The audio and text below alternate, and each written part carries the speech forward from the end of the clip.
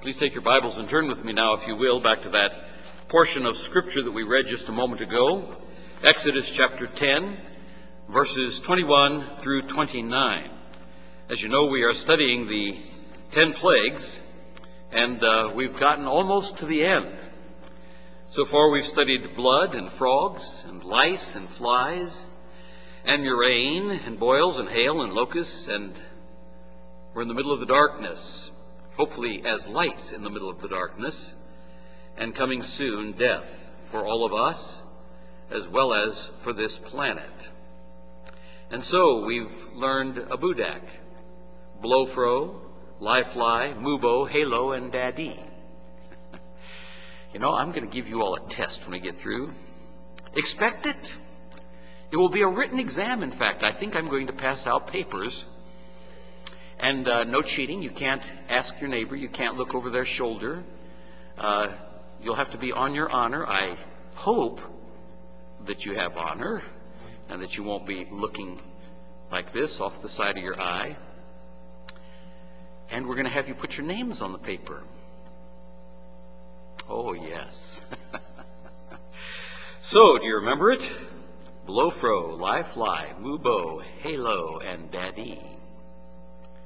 And that should let you remember all ten plagues in order, and I hope as you remember the ten plagues, you will learn the lessons that God has taught us from the ten plagues because they are given to us all over Scripture to teach various lessons that God wants His people, both in the Old Testament and in the New Testament, as we see them repeated in the book of Revelation, lessons that He wants us to learn. We've compared these with the Hospice care, those three last plagues, locusts, removal of all life-sustaining nourishment, darkness, shutting down of the organs, darkening of the eyes, mind, body, irreversible coma, and then, of course, the final termination, which is coming up, death. We've learned a lot of things about the plague of darkness. I'm just going to summarize them briefly for you today, because we have a lot more that is still in the plague of darkness found in the New Testament, which we want to see today if we can. We saw that it's supernatural, tangible darkness that showed the presence of the Shekinah glory. We saw it's often associated with the Shekinah when God is about to judge. We saw that the principal god of Egypt, which was Ra, the sun god, was being judged by this particular plague. Each one of the plagues judges a different one of the Egyptian gods. The believer who's in fellowship with God does not need to fear what is in the darkness. David remembered the Exodus in Psalm 91 because he mentions this plague of darkness. The darkness contains fearful things. Unbelievers love darkness, and so God will give them darkness for all of eternity. Light versus darkness is one of the key motifs and themes of the Gospel of John. Remember the Gospels of John. I hope you remember that when you talk to people this week, picking up some of these Gospels and talking to somebody about the Gospel of Christ. They are in darkness. This gives them light. That's one of the key motifs of the Gospel of John. I hope you use them this week. Deliverance from darkness is one of the primary illustrations of salvation in the Bible. In the Bible, darkness is a picture of spiritual blindness, filthy sin, and spiritual death. The removal of darkness by the Shekinah glory is one of the great messianic prophecies. Rejection of the light of Christ plunges a man into darkness. Darkness is a picture of the vanity of life without God. Darkness is a picture of judgment during the day of the Lord. The darkness in our text could be felt like water you feel when you're submerged. At the cutting of the Abrahamic covenant, Abraham himself felt the horror of great darkness, and then God revealed the Egyptian bondage to Abraham. There's a close connection between those two things and this plague. Because the very next plague is when God delivers his people. The devil is not the king of hell, even though hell is a real place, and that is the heart smoking darkness that is pictured for us as we look at this. It's a real place, a darkness, fire, torment. It lasts forever. The devil is not the king of hell. It's the place where he'll be punished. Hell is where all unbelievers will spend eternity. Hell is where the rebellious fallen angels, the demons, will spend eternity. Hell is where all the people who take the mark of the beast will spend eternity. Hell is where the beast and the false prophet will spend eternity, and it is totally dark, and it is horrifyingly hot. Then last week we learned additional things about darkness and hell. We saw that Jesus said, if you have no spiritual fruit in your life, it's proof that you're lost and headed for hell. We saw that Jesus talked more about hell than about heaven because he doesn't want you to go there. It should be obvious when all four Gospels record something, it's evident that God is making a point. And you recall that Jesus said a lot about hell. For example, just a few verses out of Matthew. All four Gospels contain verses like this. As therefore the tares are gathered and burned in the fire, so shall it be in the end of this world. And he shall cast them into a furnace of fire, and there shall be wailing and gnashing of teeth. Wherefore, if thy hand offend thee, or foot offend thee, cut them off and cast them from thee. It's better for thee to enter into life halt or maimed, rather than having two hands or two feet to be cast into everlasting fire. Then shall he say also unto them on the left hand, Depart from me, ye cursed, into everlasting fire, prepared for the devil and his angels. God prepared hell for the devil and his angels. But if you refuse Christ, that is where you also will end.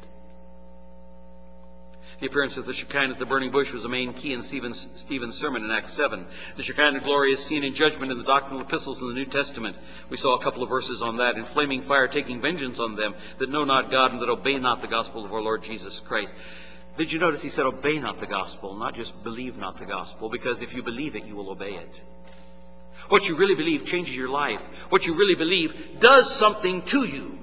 And that's why he says in flaming fire, taking vengeance on them that know not God and that obey not the gospel of our Lord Jesus Christ. Hebrews 12:29 for our God is a consuming fire. We saw last week that our hoarded material possessions will be used in fiery judgment against us. The stuff that you hang on to here on earth will be used in judgment against you. Your gold and silver is cankered. The rest of them shall be a witness against you and shall eat your flesh as it were fire. You have heaped treasure together for the last days. A rather serious warning. The fire of the Shekinah will blaze and consume earth in the final judgment. But the heaven and the earth, which are now by the same word, are kept in store, reserved unto fire against the day of judgment and perdition of ungodly men. God's not going to destroy the earth again with the flood, but he's going to destroy it with fire. It says so in the Bible. 2 Peter 3.12, looking for and hasting unto the coming of the day of God, wherein the heavens being on fire shall be dissolved, and the elements shall melt with fervent heat. Sodomites are given as an illustration of the judgment of hellfire, even as Sodom and Gomorrah, Jude 1 7. And the cities about them in like manner, giving themselves over to fornication and going after strange flesh, are set forth for an example, suffering the vengeance of eternal fire. But they can be saved. Paul says so over in 1 Corinthians. And Jude makes reference to it here in Jude 123. And others saved with fear, pulling them out of the fire, hating even the garments spotted by the flesh. The book of Revelation portrays Christ as the judge under the image of flaming fire. His head and his hair were white like wool, as white as snow, and his eyes were as a flame of fire. Chapter 2, verse 18, Under the angel of the church in Thyatira write, These things saith the Son of God, who hath his eyes like unto a flame of fire, and his feet like fine brass. He's pictured there as judging. And you'll notice it's judging a church, the church at Thyatira. Chapter 8, and the angel took the censer and filled it with fire of the altar and cast it into the earth, and there were voices and thunderings and lightnings and an earthquake. We find many visible illustrations in the plagues of Revelation that warn the earth that hellfire is coming. The first angel sounded, there followed hail and fire mingled with blood. It takes you back to the plagues again. And they were cast upon the earth, and the third of the trees was burnt up, and all green grass was burnt up. Verse 8, And the second angel sounded, and it were a great mountain burning with fire was cast into the sea, and the third part of the sea became blood. Takes you back to the plagues of Revelation, uh, of, of Exodus. And thus I saw the horses in the vision, and them that sat on them having breastplates of fire and jacinth and brimstone. That's like molten lava. Can you imagine something wearing a breastplate of molten lava? And the heads of the horses were the heads of lions, and out of their mouths issued fire and smoke and brimstone. Fairly fearsome creature if you picture it in your mind. By these three was a third part of men killed by the fire and the smoke and by the brimstone which issued out of their mouths. If you add together all of the different judgments in the book of Revelation, you discover that over 50% of the earth's population is killed during the judgments of Revelation. Are there 8 billion people on the planet today? 4 billion people will die. Will die as a result of the judgments of the Great Tribulation.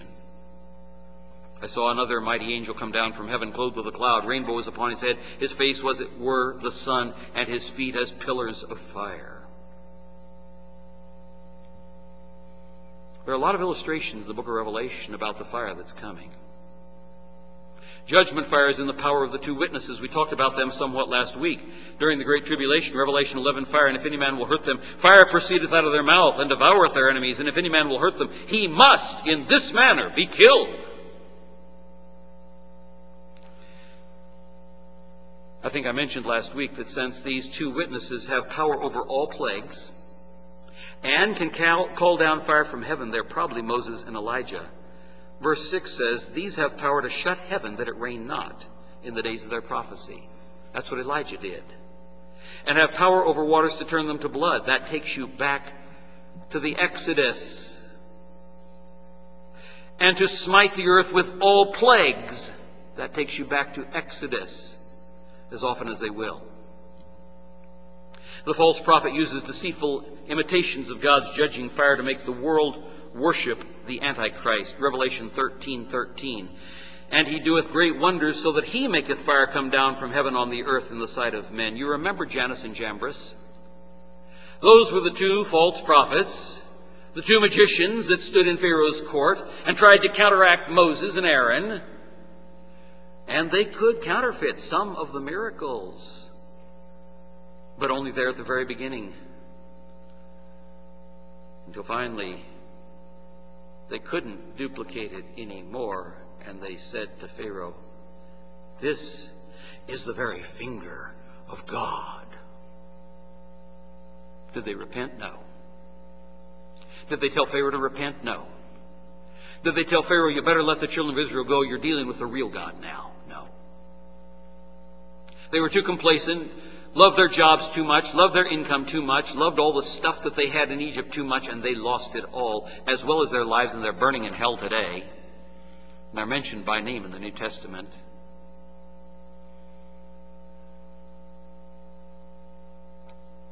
Yes, the Antichrist can do miracles. The false prophet can do miracles. We see that here. They can do counterfeit miracles. We're told that by Paul in 2 Thessalonians 2.1.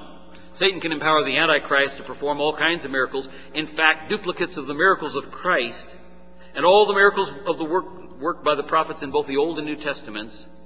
But the purpose is deception. 2 Thessalonians 2, Now we beseech you, brethren, by the coming of our Lord Jesus Christ, and by our gathering together unto him, that you be not soon shaken in mind, or be troubled neither by spirit, nor by word, nor by letter as from us, as that the day of Christ is at hand.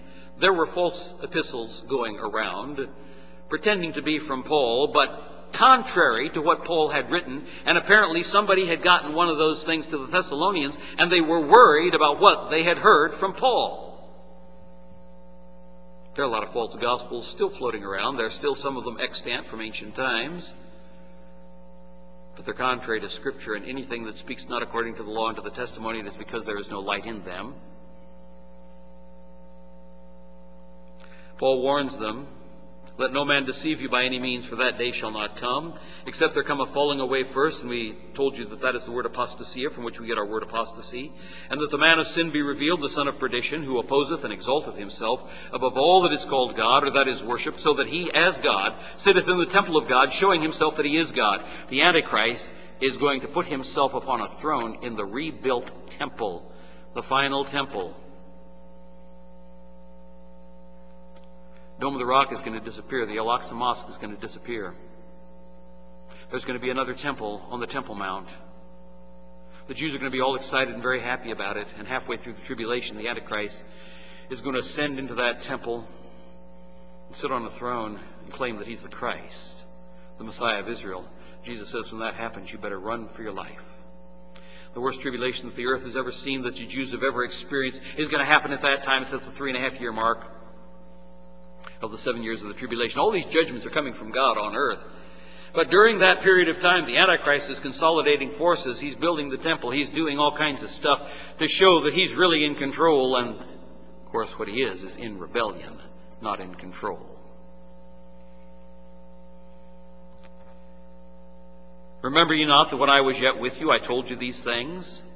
And now ye know what withholdeth, that he might be revealed in his time. For the mystery of iniquity doth already work, only he who now letteth will let, until he be taken out of the way. The mystery of iniquity is one of the mysteries, 17 mysteries in the New Testament.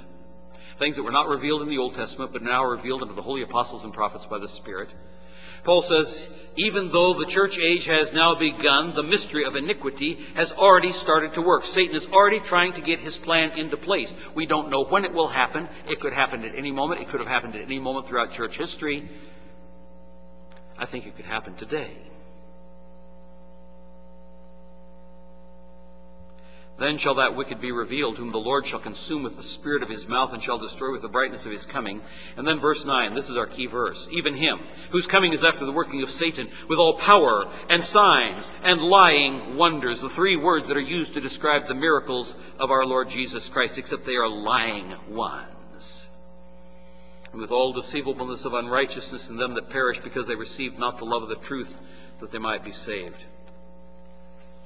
Friend, if you're listening in over the internet audience, or if there's somebody here today who's not saved, you have heard the gospel of Christ, that he died for your sins, was buried, and rose again. And that the only way to be saved is by trusting in him alone to pay for your sins and give you eternal life. You have heard the gospel. It's simple. A child can understand it. If the rapture takes place and the Antichrist takes power, you will not believe the gospel. At that point, it's too late. Because it says so in Scripture. This cause God shall send them strong delusion, that they should believe the lie, that they all might be damned who believed not the truth, but had pleasure in unrighteousness. If you've heard the gospel and rejected it, and the rapture takes place, you can't say, well, when I see the rapture take place, then I'll believe.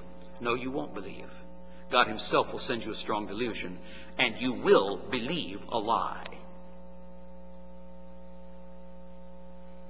And you will be damned for all of eternity.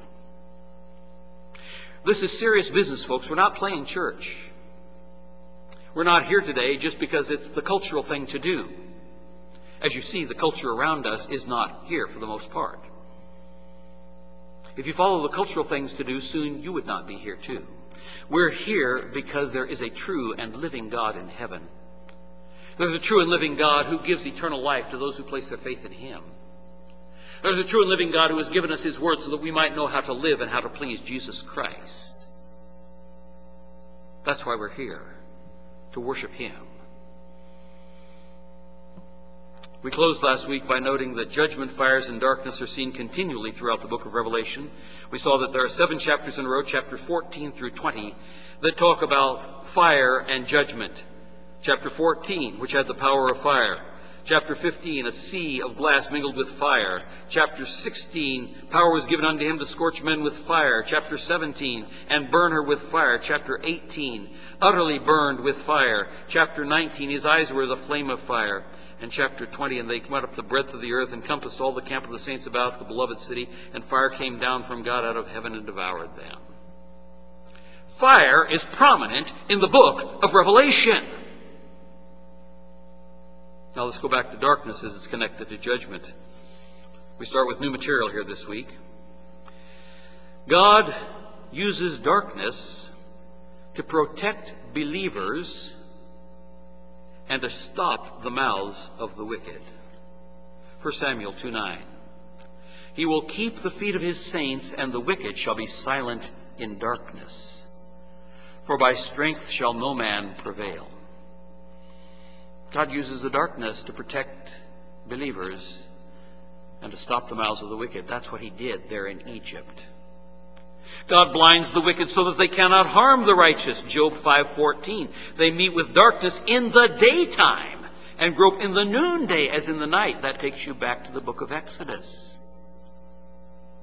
There is no return from the darkness of the grave. By the way, these verses, as do many others, disprove so-called spirit mediums. If you've been with us in the evening services about a year ago, I went through a whole series of messages that dealt with witchcraft and the occult, and with demonism and sorcerers and witches and magicians and all of that kind of stuff. And those who claim that they are calling back the dead so that you can talk to your great lost uncle someplace. It's a demonic spirit impersonating your great lost uncle. Listen to this. Job 10, verse 21 and 22. Before I go whence I shall not return, even to the land of darkness and the shadow of death, a land of darkness as darkness itself, and of the shadow of death, without any order, and where the light is as darkness. He says, I'm going where I will not return. People who claim that they are contacting the dead, spiritist mediums, people who are practicing necromancy according to Scripture are worthy of the death penalty. Necromancy is the term for those who contact the dead, or they think they are, or they try to fool people into thinking that they are. Death penalty for that, folks, according to Scripture. You don't come back from the dead until the resurrection. Notice something else about those two verses I just read out of Job. Death and darkness are the epitome of entropy. You know, entropy is the second law of thermodynamics. Everything runs downhill, it doesn't run uphill. It's one of the proofs. The two laws of thermodynamics, the law of conservation, the first law, and the law of entropy, the second law, are that no matter can be created it can only be changed into energy, or energy can be changed into matter, back and forth, but you don't have an increase in either one of them. And entropy is the law that says once it has dissipated, it doesn't come back together again. It's totally contrary to evolution. Death and darkness are described here as the epitome of entropy because all returns to chaos without any order, did you say? And of the shadow of death without any order and where the light is as darkness. Third lesson. In the darkness of judgment, there is both horrifying physical pain and excruciating mental agony. Back to the Lord Jesus in Matthew 6, Matthew 8, Matthew 22, and Matthew 25. Thy whole body shall be full of darkness. If therefore the light that be in thee is darkness, how great is that darkness? Chapter 8, verse 12, But the children of the kingdom shall be cast into outer darkness. There shall be weeping and gnashing of teeth. Not just physical pain, there's going to be mental agony. Chapter 22, 13, And then said the king to the servants, Bind him hand and foot, and take him away, and cast him into outer darkness, and there shall be weeping and gnashing of teeth. Chapter 25, verse 30, And cast ye the unprofitable servant into outer darkness. There shall be weeping and gnashing of teeth. You get it? Physical pain, mental agony. Now, here's one that I want us to get, and I'm going to spend a little bit of time on this today. The Shekinah was darkness at the giving of the law. Let me say it again. The Shekinah was darkness at the giving of the law. Because you see, law and darkness speak of curse and judgment and the impossibility of salvation by works. Law and darkness speak of the curse of judgment and the impossibility of salvation by works. That, friends, is one of the reasons you do not want to be under the law. Let me put the Ten Commandments in their complete context because that's where we see the darkness at the giving of the law. God is speaking from the Shekinah. He says so, and I'll read you some verses that say so. He's speaking from heaven. I'll read you some verses that say so. And yet it is thick darkness. Exodus chapter 20. You all know Exodus 20 is where you find the Ten Commandments. And Deuteronomy chapter 5, you find the Ten Commandments. They're restated for you there. Listen to it, Exodus 20. And God spake all these words, saying, by the way, that is verbal inspiration. I am the Lord thy God, which have brought thee out of the land of Egypt, out of the house of bondage.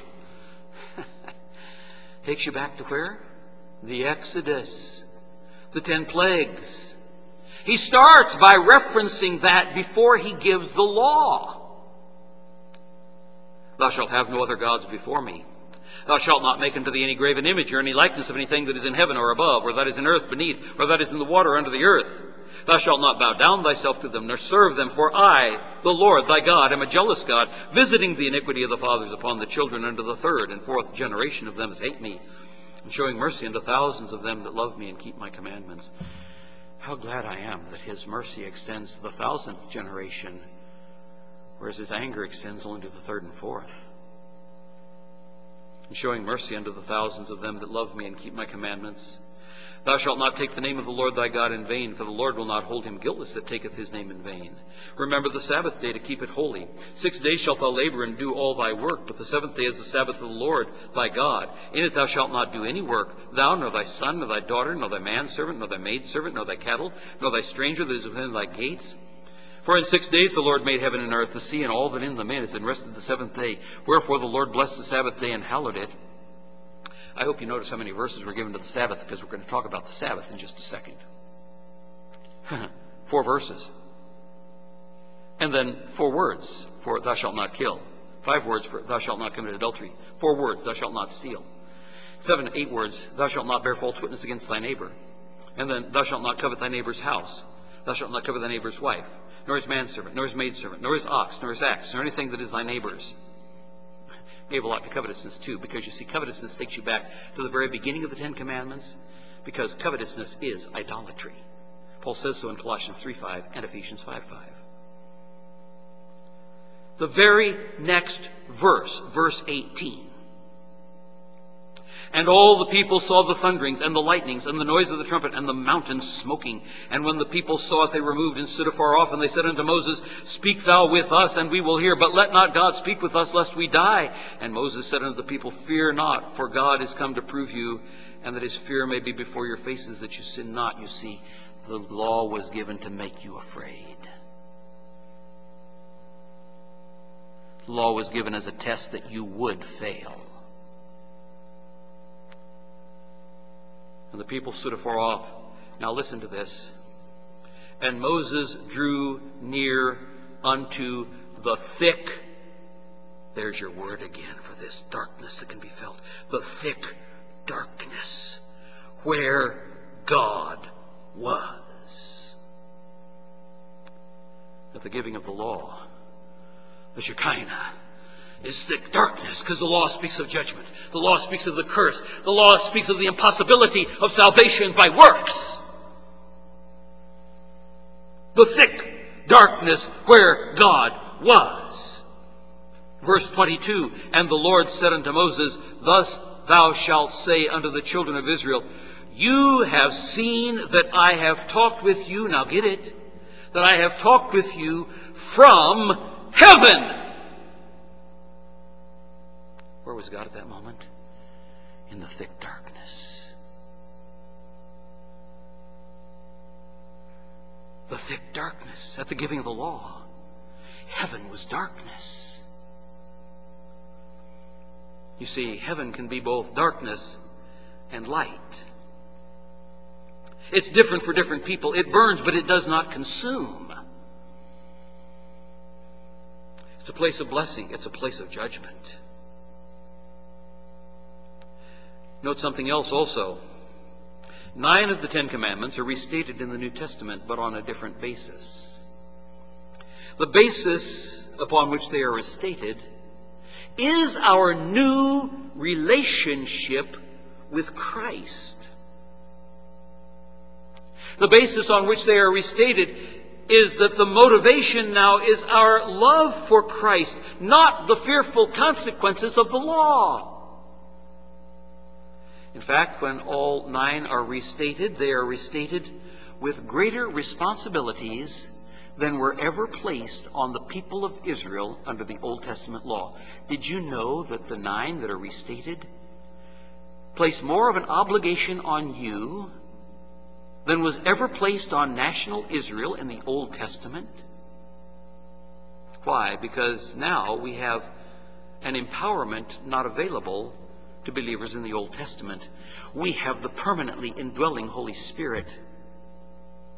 You could never, ever possibly keep the law, even in its barest bones form, without the Holy, Holy Spirit indwelling you. Let me give you some examples. What did the Old Testament say? What did it say about murder? Four words, Exodus 20:13. Thou shalt not kill. That becomes in the New Testament a far greater obligation and danger. Matthew 5, 21 and 22. You have heard it said of them of old time, Thou shalt not kill. Jesus is quoting the Ten Commandments. And whosoever shall kill shall be in danger of the judgment. But I say unto you that whosoever is angry with his brother without a cause shall be in danger of the judgment. And whosoever shall say unto his brother, Raca, shall be in danger of the council. But whosoever shall say, Thou fool, shall be in danger of hell fire. Did Jesus just expand on thou shalt not kill? I think he did. Suddenly there's a greater obligation. Suddenly there's a greater danger. Suddenly there's a greater point of fear if you don't understand what's going on. How about adultery? Five words in the Old Testament, Exodus 20:14. Thou shalt not commit adultery.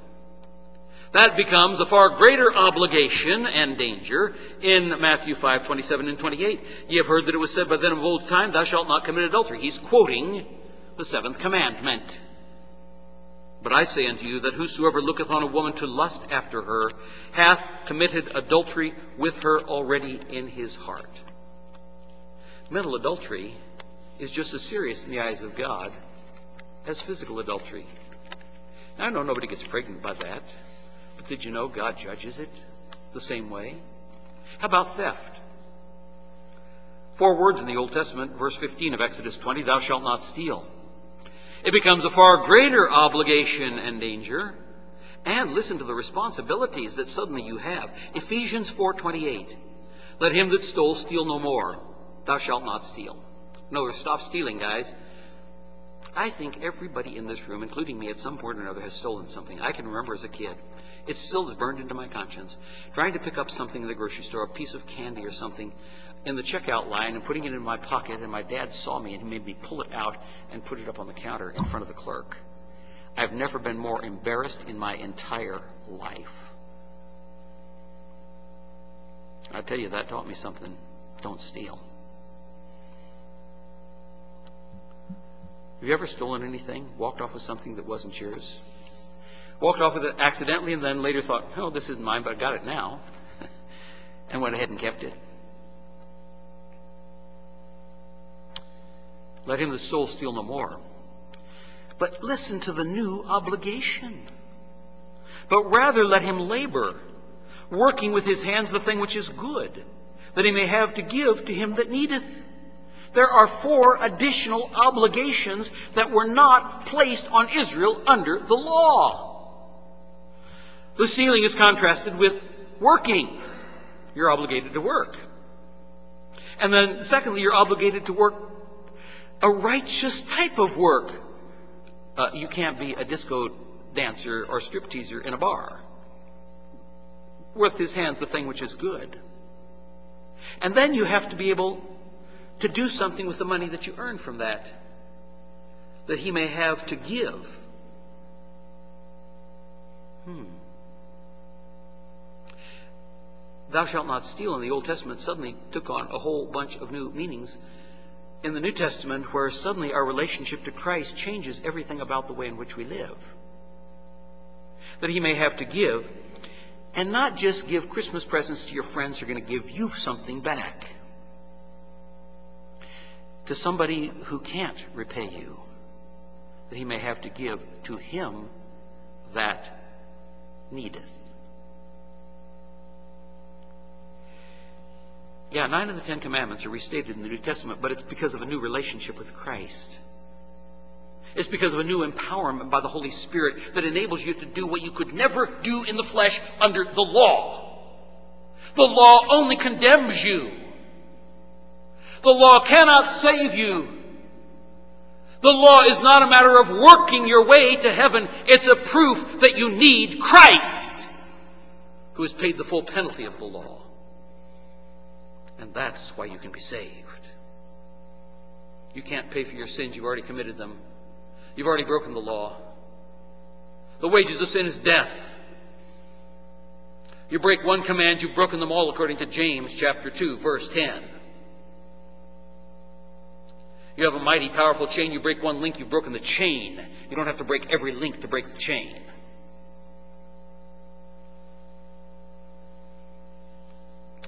The only commandment that is not restated as required of believers today is the Sabbath. It was specifically given to national Israel as a sign between God and Israel. Now, we've already done an extensive study on God's continuing promises to national Israel that guarantees future fulfillment, so I won't go all of that stuff here right now. But let me remind you of just one thing. Those who confuse Israel and the church tend to place believers back under the law, including the law of the Sabbath. Sadly, there are many in the Reformed camp who won't even cook on Sunday, which they claim is the Christian Sabbath, because they would have to light a fire which was prohibited under Old Testament Sabbath law. So they eat cold cuts. You know, it was prohibited. Exodus 35:3. Have you ever lit a, lit a fire on Sunday thinking that Sunday was a Sabbath? Ye shall kindle no fire throughout your habitations upon the Sabbath day. Ever lighted your stove? Now I know most stoves have a piezo lighter in them now, you know, or a pilot light. so you just turn it on, it just makes the flame a little bit bigger. You're going to get around it that way, right? Getting around the law. That's what the Jews do with their 613 hedges about the law.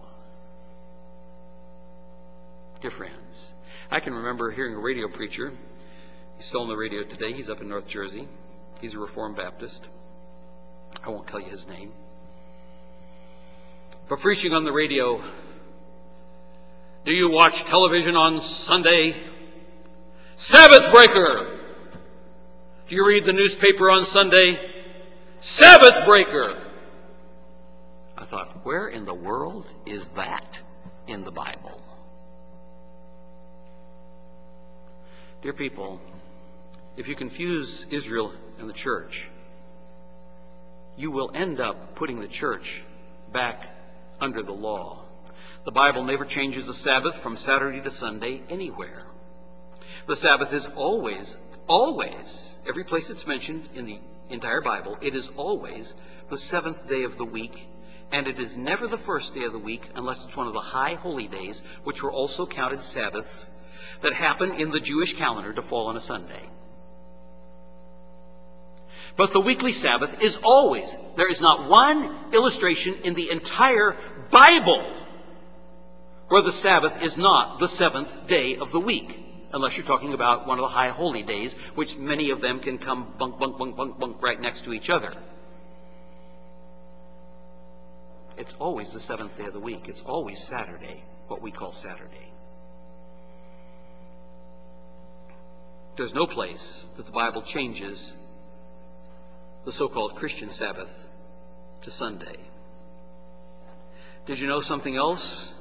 Not only was the Sabbath given only to Israel and not to the other nations, in fact, the Sabbath law was the one thing that God pulled out of the Ten Commandments to emphatically comment on, both in our text there in Exodus chapter 20 and also in Deuteronomy 5. The one thing that he emphatically commented on to include the death penalty.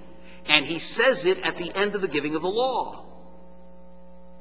Exodus 31, verse 14. Ye shall keep the Sabbath, therefore, for it is holy unto you. Every one that defileth it shall surely be put to death. For whosoever doeth any work therein, that soul shall be cut off from among his people. Verse 15, Six days may that work be done, but in the seventh is a Sabbath of rest, holy unto the Lord. Whosoever doeth any work on the Sabbath day, he shall surely be put to death. Verse 16, he says this over and over again. Wherefore the children of Israel shall keep the Sabbath. To and he says, Who it is? The children of Israel. You are not the children of Israel. Shall keep the Sabbath, to observe the Sabbath throughout their generations for a perpetual covenant.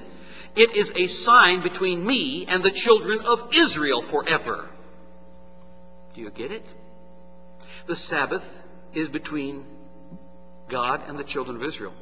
Verse 18, And he gave unto Moses, when he had made an end of communing with him upon Mount Sinai, two tables of testimony, tables of stone, written with the finger of God. The thing that God pulls out to emphasize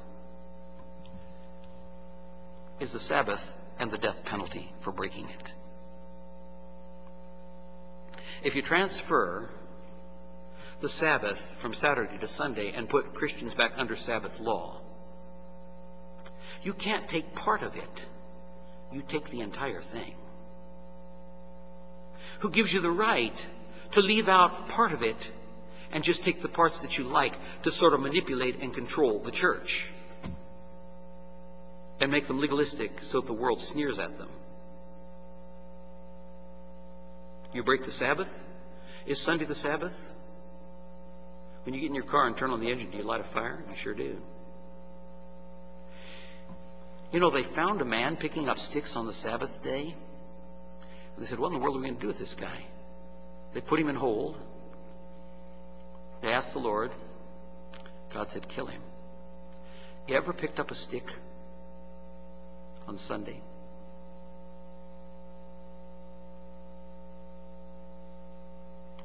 Dear people, when the law was given, God spoke to Moses out of the thick darkness, and it caused terror in the hearts of the people. And it says God spoke to him from heaven. Because the law was designed for judgment. The law was designed to prove you're a sinner. The law was to show you're without hope and cannot work your way to salvation. The law was given to condemn you, but the grace of God reached down to you in the person of Christ, who paid the penalty of the law for your sins. He died on Calvary's cross. And there was thick darkness over all the earth.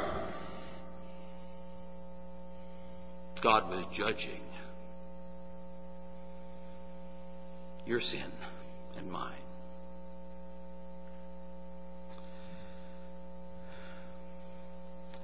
The relationship of the Sabbath to national Israel, both again in Leviticus and Numbers. I must stop quickly here. Leviticus 24 8. Every Sabbath he shall set it in order before the Lord, continually being taken from the children of Israel by an everlasting covenant. It's a covenant with Israel. Numbers 15 32. And while the children of Israel were in the wilderness had found a man that gathered sticks upon the Sabbath day, and of course they stoned him. If we're under the Sabbath law, there's a death penalty for breaking the Sabbath. You cannot take part of the Sabbath and ignore the rest. James 2:10 For whosoever shall keep the whole law yet offend in one point and yet offend in one point listen to the last 5 words he is guilty of all Do you understand why you don't want to be under the law? Do you understand what the grace of God has done for you in freeing you from the chains of the law? We have obligations to live righteous and holy lives before God, and nine of the Ten Commandments are restated, but not on the basis of Mount Sinai, on the basis of our new relationship with Christ. And it's a relationship motivated by love. We love Him because He first loved us. And when you really love somebody, when you really love them, you don't want to do anything that would hurt them.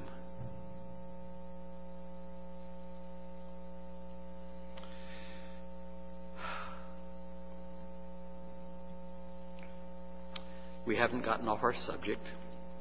We're still talking about the plague of darkness. And I had thought this would be the last week on it. But I'm sorry I got carried away from my notes and started preaching. so we'll pick it up there next week, the Lord willing. Our gracious Heavenly Father, how we thank you for your word and for its power. And how we thank you that we've been freed from the curse of the law.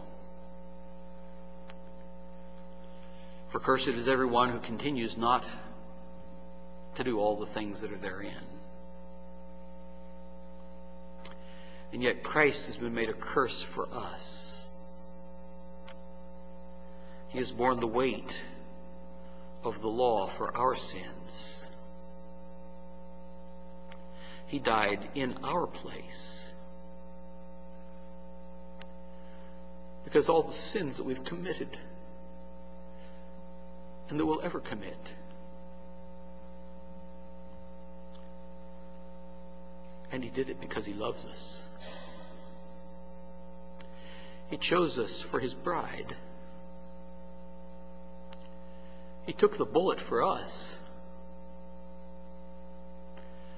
so that we might live.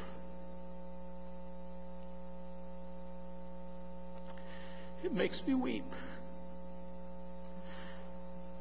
that my sins nailed Jesus to the cross at Calvary.